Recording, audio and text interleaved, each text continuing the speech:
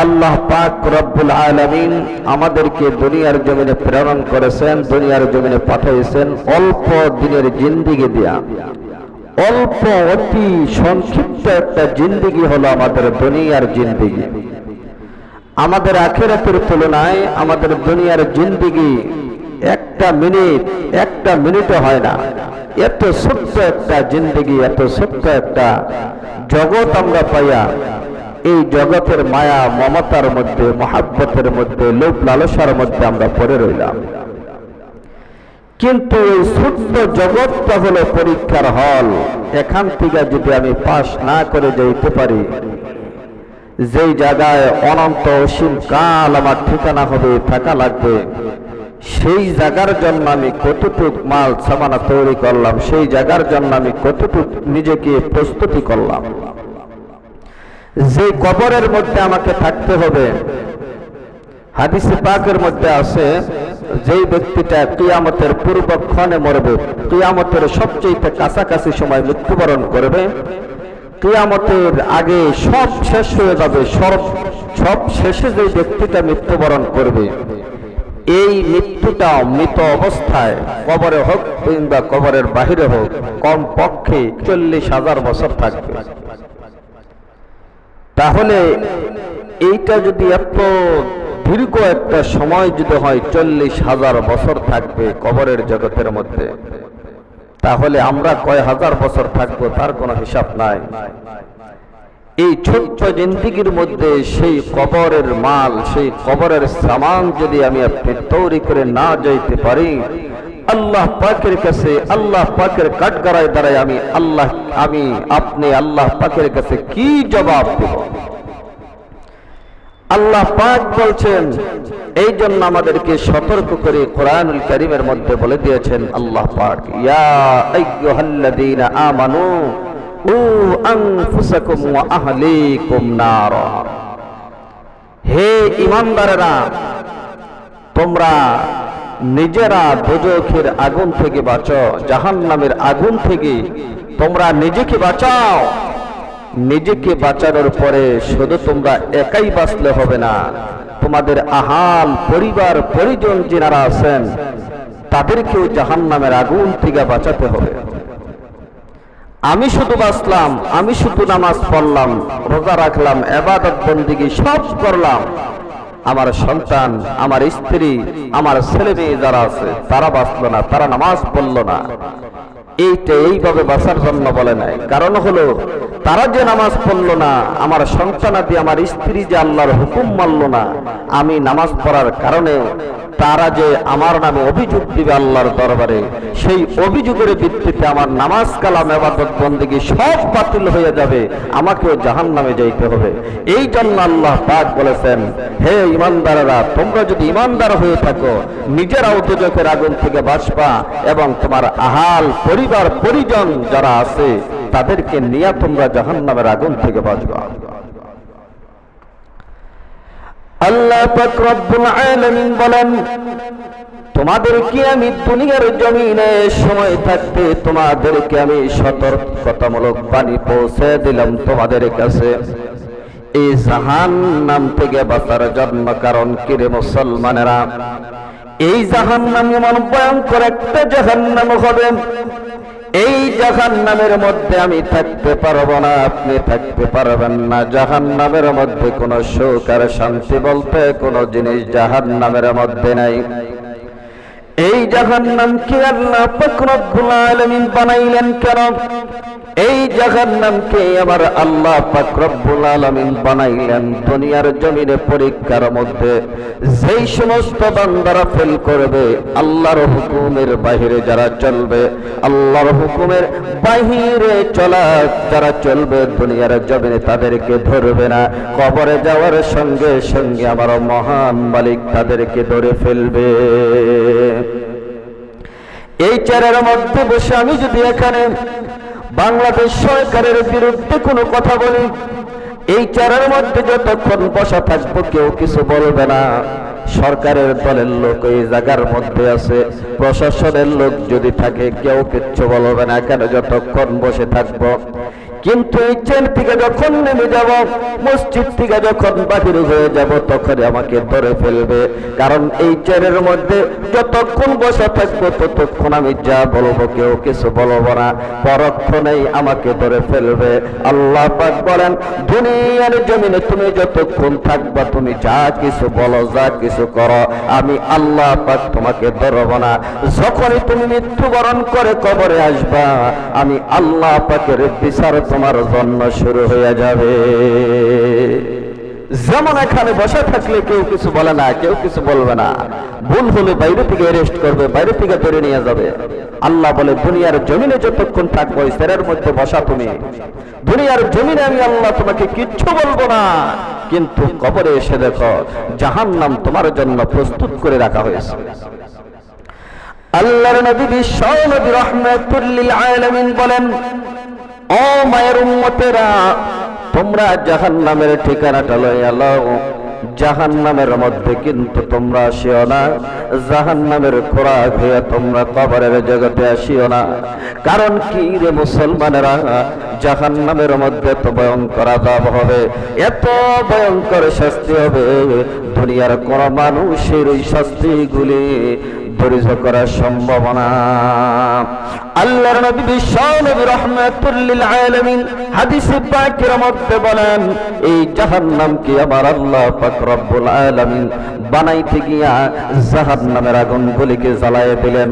জাহান্নামের আগুন জ্বালাইতে জ্বালাইতে জাহান্নামের আগুনের পাওয়ার গুলি বাড়াইতে বাড়াইতে বাড়াইতে এক হাজার বছর পর্যন্ত জাহান্নামের আগুনকে জ্বালায় রাখলেন।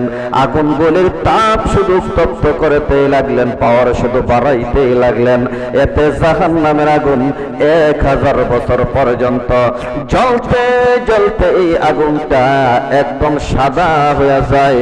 এই তামার মতো সাদা আগুনটা হয়ে যায়। তখন আমার আল্লাহ রব্বুল আলামিন আগুনটা পরীক্ষা করে দেখে, আমার জাহান নামে যারা আসবে দুনিয়ার জমিনে যে সমস্ত নাফরমান বান্দারা নামাজ না পড়িয়া রোজা না রাখিয়া, সুদ খাইয়া গোশ খাইয়া, আমি আল্লাহ তালার অবাধ্য হইয়া যেই সমস্ত বান্দা বান্দিরা কবরের জগতের মধ্যে আসবে, এতটুকু তাপ, এতটুকু আজাব দিয়ে আমি আল্লাহ পাক্ষান্ত হব না। এক হাজার বছর জ্বালানোর পরে আমার আল্লাহ রব্বুল বলবে, আগুনকে আরও প্রজ্বলিত করতে হবে। আবার একদিন আর দুই দিন মুসলমানেরা এক হাজার বছর পর্যন্ত আবার পুনরায় তার তাপকে বাড়াইতেই থাকবে। আগুনের তাপমাত্রা শুধু বাড়াইতেই থাকবে বাড়াইতেই থাকবে। আরও এক হাজার বছর পর্যন্ত যখন তাপটা নিয়ন্ত্রণ হয়ে যাবে, দুই হাজার বছর চলে গেল। তখন ওই জাহান নামের আগুনটা লাল বরণের হয়ে গেল। লাল হয়ে গেল। আমার আল্লাহ পাক আগুনটা পরীক্ষা করে দেখেন। এখনও জাহান্নামীদেরকে আগুন দিয়ে শাস্তি দিলে হবে না। আরও উত্তপ্ত করতে হবে। আবার আগুনকে আরও প্রজ্বলিত করা আরম্ভ করলেন। একদিন আর দুই দিন না, আরও এক হাজার বছর পর্যন্ত আমার আল্লাহ পাক রব্বুল আলামিন জাহান্নামের আগুনকে আরও তাপ শুধু বাড়াইতেই লাগলেন বাড়াইতেই লাগলেন। আল্লাহর নবী ডাক বলেন, মায়ের উম্মতের আরে, এখন এই তিন হাজার বছর জাহান নামের আগুনটা জ্বলার পরে এখন এমন অবস্থা হয়ে আছে। জাহান নামের আগুনটা অন্ধকার, কালো হয়ে আছে। আমাবস্যা রাত্রে যে অন্ধকার আর বিষাক্ত হয়ে আছে জাহান নামের আগুনটা। ওই জাহান নামের মধ্যে যদি কাউকে ফালানো হয়, ওই জাহান নামের আগুন তো দূরের কথা। জাহান নামের ধোঁয়া যদি কোন বান্দা বান্দিকে যদি ধোঁয়া স্পর্শ করে কোন মানুষ সেই আজাব সহ্য করতে পারবে না। এত কঠিন অবস্থার মধ্যে সেই আগুনটা আছে। আমাবস্যা রাত্রে যে অন্ধকার হয়ে আছে। ওই জাহান নামের আগুনের মধ্যে যখন নাকি কোন বেনামাজি বান্দাকে পালানো হবে কোন বেরোজা বান্দাকে ফালানো হবে না, ফরমান বান্দাকে। দুনিয়াতে যারা আল্লাহর হুকুম মানে নাই, কবরে চলে গেছে, তাদেরকে যখন নাকি জাহান নামের মধ্যে ফালানো হবে আগুনের মধ্যে, ওই বান্দা বান্দিগুলো জাহান নামের আগুনের মধ্যে তাপগুলি সহ্য করতে পারবে না। আমার আল্লাহকে ডাকতে থাকবে জাহান নামের মধ্যে। জাহান নামের মধ্যে তারা কান্তে কান্তে কলিজা ফাটিয়ে দিবে, কিন্তু জাহান নামের আগুন আর তাদেরকে তারা বলবে জাহান নামের আগুন সহ্য হয় না। জাহান নামীরা একাত্রিত হয়ে একদিন আর দুই দিন না। এক হাজার বছর পর্যন্ত জাহান নামের মধ্যে চিৎকার দিবে, কান্নাকাটি করবে, কিন্তু কেউ জবাব দিবে না।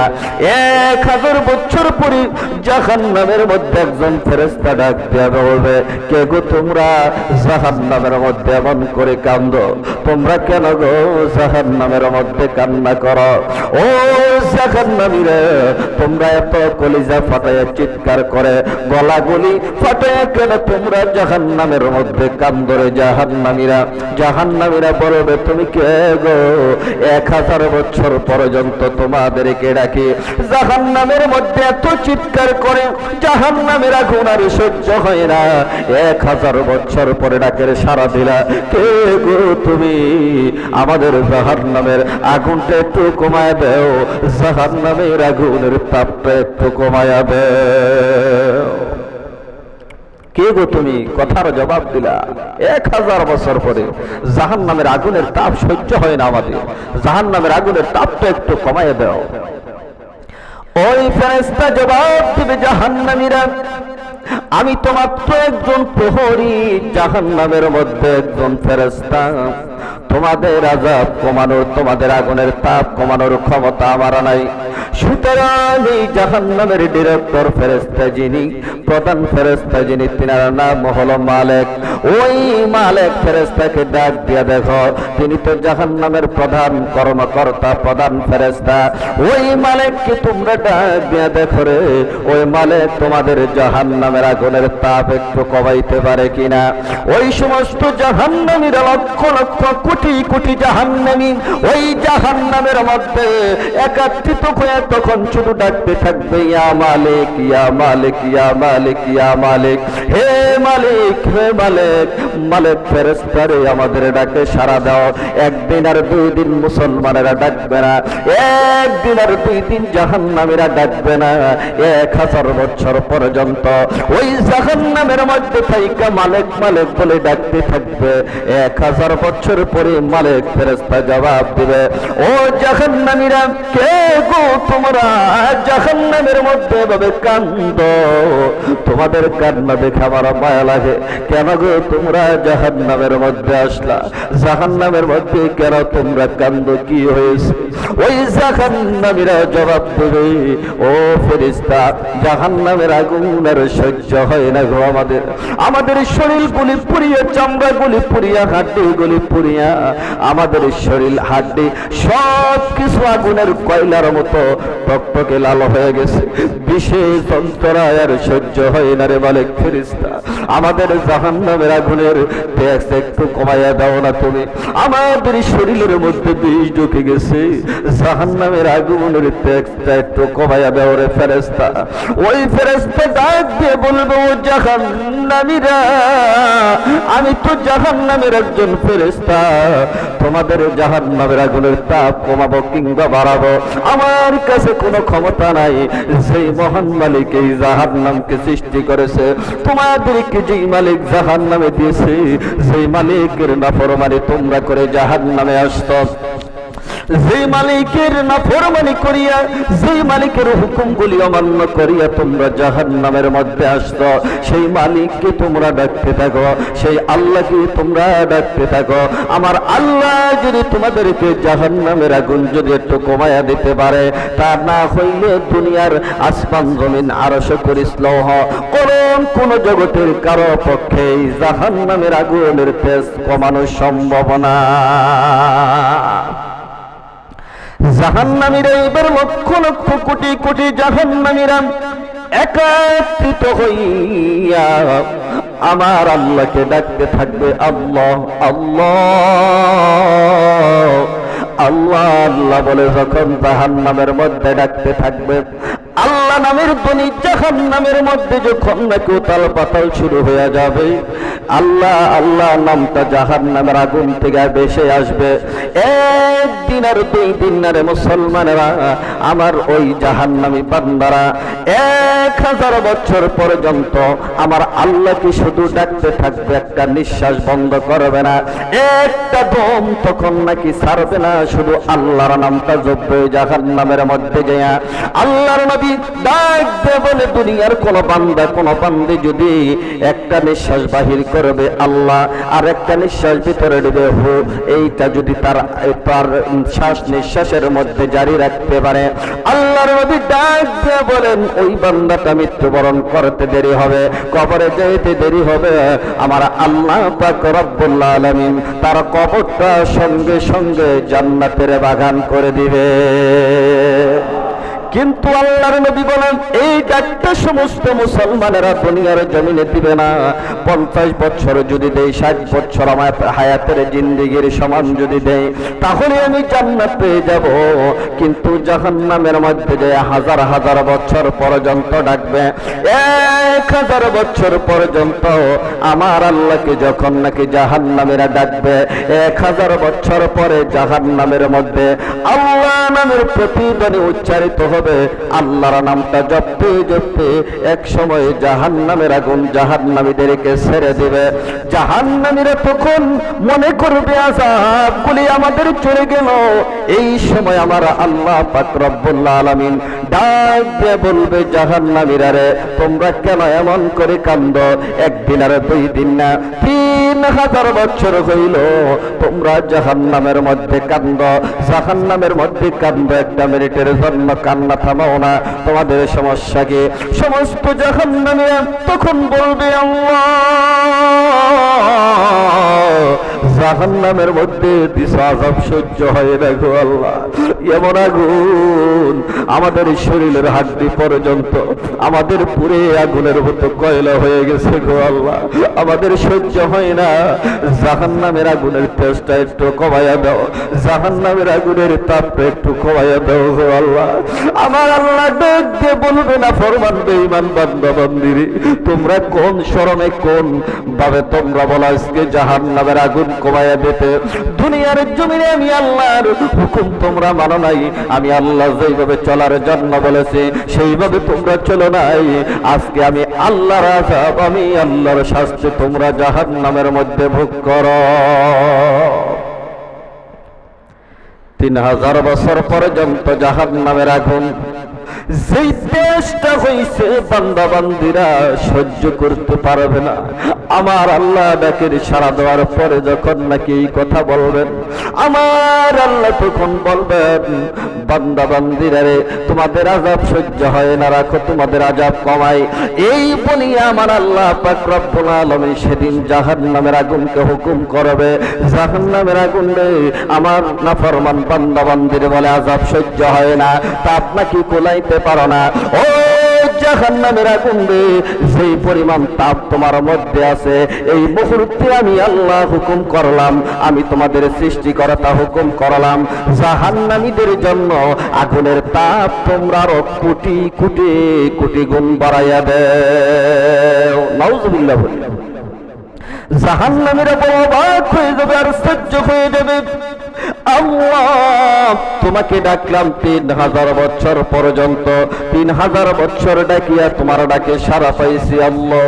কিন্তু আমরা আশাই ছিলাম যে আমাদের বলা হয়ে একটু আজাবটা কমাইয়া দিবা, জাহান্নামের আগুনের তাপটা একটু কমাইয়া দিবা। আল্লাহ তোমার হুকুম পাইয়া জাহান্নামের আগুনের বিষাক্ত ধোয়া গলে বিষগুলি তেজগুলি এত বাড়িয়ে গেল আল্লাহ। এর সেই আমরা পূর্বে যে অবস্থার মধ্যে ছিলাম ওইটা তো মনে হয় আমাদের কাছে জান্নাত ছিল। কোটি কোটি গুণ শান্তিতে ছিলাম। আমার আল্লাহ জাহান নামের আগুনকে হুকুম করবে জাহান নামের আগুন রে। আমি যতক্ষণ পর্যন্ত পরবর্তী নোটিশ জারি না করব, ততক্ষণ পর্যন্ত তোমার আগুনের তেজ শুধু বাড়াইতেই থাকবার বাড়াইতেই থাকবা। জাহান্নামীদের অবস্থা। তখন কি ভয়াবহ হবে? এই জাহান্নামের মধ্যে কতদিন পর্যন্ত আমাদের থাকতে হবে? এই জাহান্নামের গভীরতা কীরকম এই জাহান্নামটা আকার আকৃতিতে কীরকম এই জাহান্নামটা মানুষের সঙ্গে কি ব্যবহার করবে? এবং কার আজাব কেমন হবে? আল্লাহ পাক রব্বুল ইজ্জতুল জালাল তৌফিক দান করলে ধারাবাহিকভাবে এই জাহান্নামের আলোচনা চলবে। এই জন্য এই আলোচনাগুলি থেকে আমাদের শিক্ষা নেওয়া দরকার। আমরা যদি বেইমান হইয়া নামাজি হইয়া যদি কবরে যাই, আমরা রোজা না রাখিয়া যদি কবরে যাই, সুদ খেয়ে যদি কবরে যাই, ঘুষ খেয়ে যদি কবরে যাই, মানুষকে কষ্ট দিয়ে যদি কবরে যাই, মানুষের সম্পদ বাইরে খেয়ে যদি আমি কবরে যাই, অন্যায় কোনো অশ্লীল কোনো কাজ করি আমি যদি কবরে যাই, মোট কথা হলো আল্লাহর নাফরমানি করি আমি যদি কবরে যাই, এই কবরের মধ্যে সরাসরি জাহান নামের আগুন আল্লাহ পাক ব্যবস্থা করে দেবে আজাবের ব্যবস্থা করে দেবে। এই জাহান নামের আজাবের ভয় আমাদের প্রত্যেকের অন্তরের মধ্যে থাকা দরকার আছে না নাই? এই জন্য শুধু ভয় থাকলেই হবে না, এই ভয়ের সঙ্গে আল্লাহ পাকের হুকুমগুলি আমাদের পালন করতে হবে। কারণ হলো, আমাদের মৃত্যু কখন আসিয়া যায় জানি না, তার আগেই আমাদের এই মুহূর্তে প্রস্তুতি হতে হবে মৃত্যুর জন্য। কারণ হলো, মৃত্যুটা হলেই তো আমাদের সময় শেষ। তারপর আমি আপনি যে কোনো একটা ফয়সালায় সিদ্ধান্তে পৌঁছে দেব জান্নাত না হয় জাহান্নামের মধ্যে। এই জন্য একটা মিনিটের, একটা সেকেন্ডের কোনো ভরসা নাই। এই জন্য মুহূর্তে তওবা করা দরকার। সকলে আজকের থেকে খাস তওবা করে যাবেন। যেন সামনের দিনগুলি, সামনের ভবিষ্যৎগুলি জাহান্নামের ভয় নিয়া আল্লাহ পাকের দেওয়া হুকুমগুলি সুন্দরভাবে যেন আমার জীবনের মধ্যে আমি ফিট করতে পারি। আল্লাহ পাক রব্বুল ইজ্জতুল জালাল আমাদের সকলকে আমল করার জন্য তৌফিক দান করুন। ও আখির দাওয়ানা আনিল হামদুলিল্লাহি রাব্বিল আলামিন।